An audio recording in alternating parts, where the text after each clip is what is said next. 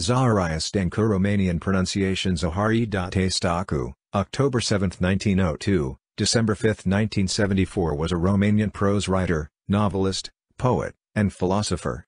Stancu was born in 1902 in Salcia, a village in Teleorman County, Romania.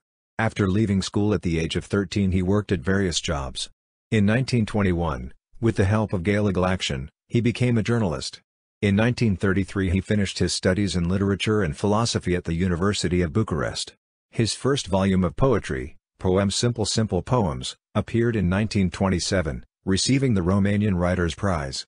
During World War II, he was imprisoned for his opposition to the fascist government of Ion Antonescu see Romania during World War II, and spent time in the Târgu Jiu internment camp for political prisoners. In 1946, he became a director of Romania's National Theatre.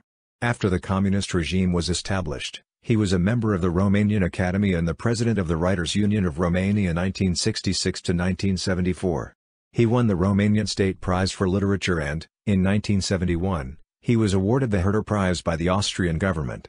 Between 1926 and 1944 Stancu published six volumes of poetry. In 1948 his first important novel, Desculț Barefoot, was published. It has been translated into 30 languages. Other important novels are Șatra the Gypsy Tribe, and Jocul cu moartea A Gamble with Death.